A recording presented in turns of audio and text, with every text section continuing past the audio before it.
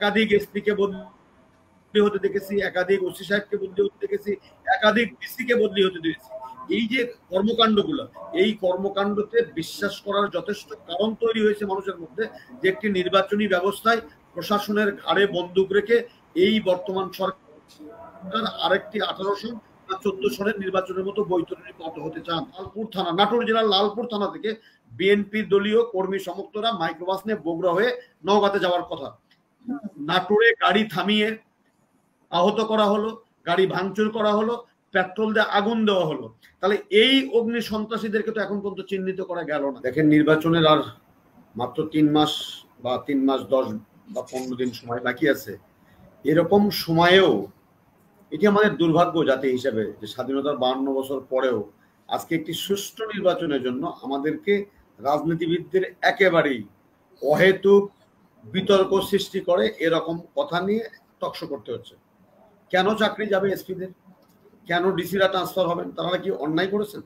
তারা কি কোনো খারাপ কাজ করেছেন? তারা কি জনগণের বিপক্ষে দাঁড়িয়েছেন? এই সমস্ত কথাগুলো কিন্তু এসপি সাহেবরা বলেননি বা পুলিশ অ্যাসোসিয়েশন যারা আছে তারাও কিন্তু বলেননি। তাহলে একজন খুবই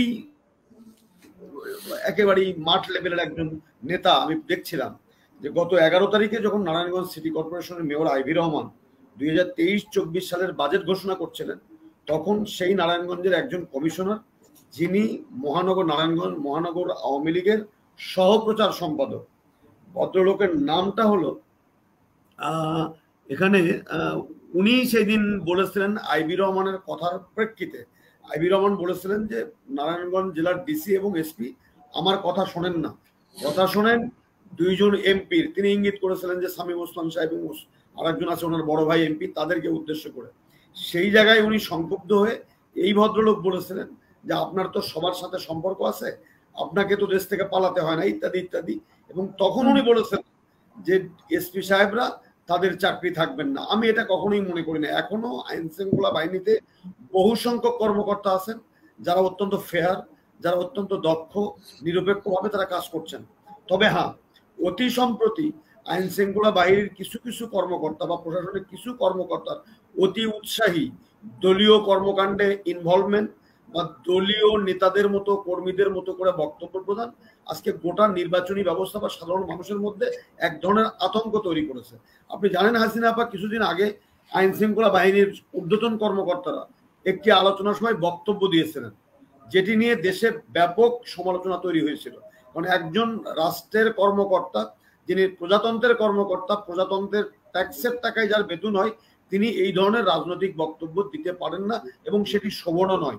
আর শোভন না হওয়ার কারণে আজকে যখন, আজকে ওসি সাহেব আপনি যেটা প্রারম্ভিকই বলছিলেন, আমি যে শহরে বসবাস করি, রাজশাহী বিভাগীয় শহর, সেই রাজশাহী জেলার পার্শ্ববর্তী একটি থানার নাম চারঘাট থানা। সেই ওসি সাহেব যে কথাগুলো বলেছেন, সেটি যদি সত্য হয়, তাহলে বিএনপি সহ বিরোধী দলের আশঙ্কা করার যথেষ্ট কারণ আছে। বা আস্থাহীনতার যথেষ্ট কারণ আছে যে শুধু একজন ওসি সাহেব নয় এর ইতিমধ্যেই কিন্তু প্রায় চারজন ওসি।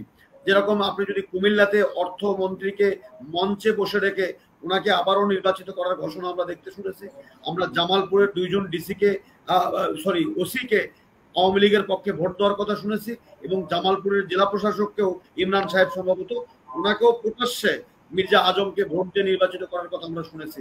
অতএব এটি তো মর্নিং শোজ দা ডে যে আমরা কিন্তু কিছুদিন আগে আমরা একাধিক এসপিকে বদলি হতে দেখেছি, একাধিক ওসি সাহেবকে বদলি হতে দেখেছি, একাধিক ডিসিকে বদলি হতে দেখেছি।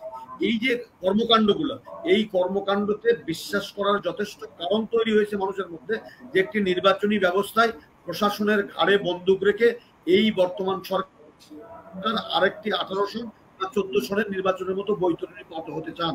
তবে আমি নারায়ণগঞ্জের যে সহপ্রচার যে কথাটি বলেছেন, এটি আমি বিশ্বাস করতে চাই না এই কারণে যে আইন শৃঙ্খলা বাহিনীর মধ্যে এখনও বহু সংখ্যক আইন শৃঙ্খলা বাহিনীর সদস্য অত্যন্ত নিরপেক্ষ, সৎ মেধাবী এবং তারা কখনোই তাদের চাকরি যাওয়ার কথা নয়। চাকরি তাদেরই হয়তো বা যাবে সরকার পরিবর্তন হলে, সেটা বিএনপি আসুক বা যে অন্য দলে আসুক।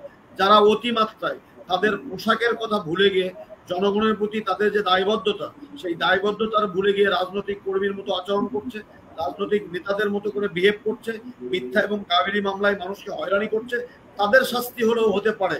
এবং তবে সেটিও আইনগত প্রক্রিয়ার মধ্য দিয়েই সেটি হতে হবে। আইনের বাইরে কাউকে কোনো শাস্তি হওয়ার কোনো সুযোগ দেশে আছে বলে আমি এটা মনে করি না। তবে যাকে নির্বাচন সুষ্ঠু হতে চাই গ্রহণযোগ্য হতে চাই এবং নির্বাচন যদি সবার কাছে অংশগ্রহণমূলক হতে চায় যে কথাটি আজকেও আমাদের পররাষ্ট্রমন্ত্রীকে সুস্পষ্টভাবে বলেছেন, আমাদের ওজরাজিয়া এবং আমাদের ডেরেক সোলে যারা বাংলাদেশে অতি সম্প্রতি ভ্রমণ করে গেছেন, তারা কিন্তু পররাষ্ট্র সচিবের পরবর্তীতেই আজকে পররাষ্ট্র মন্ত্রীকে ডেকে নিয়ে তার সাথে বৈঠক করে আজকে ডেরেক সোলে কিন্তু বলে দিয়েছেন যে আমরা বাংলাদেশের গণমাধ্যমের স্বাধীনতা এবং জনমতের স্বাধীনতা এবং সুষ্ঠু নির্বাচনের পক্ষে একটি তাগিদ ওনারা দিয়েছেন। তার মানে বোঝা যাচ্ছে যে আজকে এই যে আমাদের যে আদিলুর রহমানকে যে শাস্তি দেওয়া হলো বা এলেনকে যে শাস্তি দেওয়া হলো এটাকে তারা গণমাধ্যমের উপরে হস্তক্ষেপ বলে মনে করছে। তারা সুষ্ঠু বিচার বলে মনে করছে না বা গণতন্ত্র যে বাংলাদেশে ফেয়ার না বা নিরপেক্ষ নয় এটার প্রতি গুরুত্ব দিয়েই কিন্তু তারা ভুলে যায়নি। তারা এখন ওখানে তৎপর রয়েছে। যাক সেসব কথা। আমি শুধু এইটুকু বলি যে আপনি নির্বাচনী পরিবেশের কথাটা বলছেন আজকে আজকে বিএনপিকে বা বিরোধী দলকে অগ্নি সন্ত্রাসের দায়ে অভিযুক্ত করা হয়। হয়তো ঘটনা সত্য, হয়তো ঘটনা সত্য নয়। আমি একটি কথা আপনাকে বলি দেখেন, গত সতেরো তারিখে বিএনপির তারুণ্যের একটি রোড মার্চ ছিল।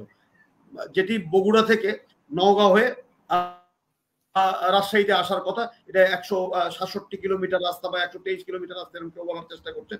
সেই জায়গাতে রাজশাহী জেলার লালপুর থানা, নাটোর জেলার লালপুর থানা থেকে বিএনপি দলীয় কর্মী সমর্থরা মাইক্রোবাস নিয়ে বগুড়া হয়ে নওগাঁতে যাওয়ার কথা। নাটোরে গাড়ি থামিয়ে আহত করা হলো গাড়ি ভাঙচুর করা হলো পেট্রোল দিয়ে আগুন দেওয়া হলো। তাহলে এই অগ্নি সন্ত্রাসীদেরকে তো এখন পর্যন্ত চিহ্নিত করা গেল না। তাদের বিরুদ্ধে মামলা করা হলো না। তাদেরকে গ্রেপ্তার করা হলো না। কেন? তারা বিএনপি করে বলে? যদি আজকে যদি আপনি একটু চিন্তা করেন তো হাসিনা এটা যদি উল্টা যদি হতো তাহলে কয়টা মামলা হতো? কতটা গায়েবী আসামি হতো? এমন লোক হয়তো আসামি হতো যিনি দেশেই নাই হয়তো ওমরা করতে গেছে এই যে অতএব সমস্ত কর্মকাণ্ডের মধ্য দিয়ে একটি বাংলাদেশে একটি সুষ্ঠু এবং গ্রহণযোগ্য নির্বাচন হবে এবং মানুষ নির্ভয়ে ভোট কেন্দ্রে গিয়ে তাদের পছন্দের প্রার্থীকে ভোট দিতে পারবে এই জায়গাতে বড় ধরনের একটি আস্থাহীনতা তৈরি হয়েছে। সেই আস্থাহীনতা উত্তরণের জন্য আমি মনে করি এখনও সময় আছে সরকার উদ্যোগ নেবে বিরোধী দলের সাথে আলোচনায় বসবে এবং সুষ্ঠু নির্বাচনী একটি পরিবেশ নিশ্চিত করবে।